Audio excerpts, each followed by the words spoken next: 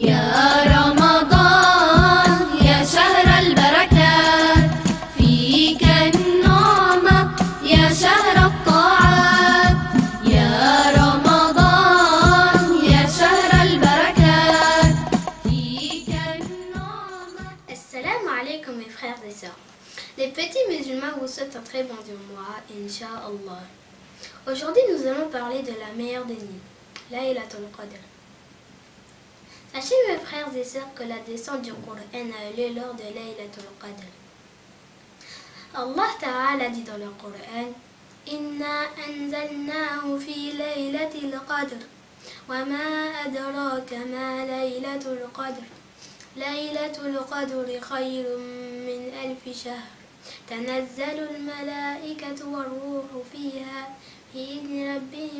من كل أمر سلام هي حتى مطلع الفجر Ce qui a pour sens, nous l'avons fait descendre dans la nuit de El-Qadr. Et quelle nuit que la nuit de El-Qadr La nuit de El-Qadr est meilleure que mille mois. Les anges y descendent avec Jibril par permission de leur Seigneur pour ce qui leur est prédestiné d'accomplir.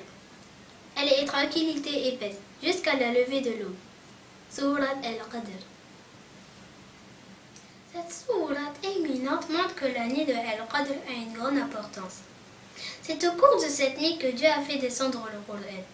En effet, Dieu a ordonné à l'ange Gabriel, Jibril, de prendre le Coran de la table préservée, et de le descendre en un voyage à un endroit du ciel du bas monde, appelé Baytul.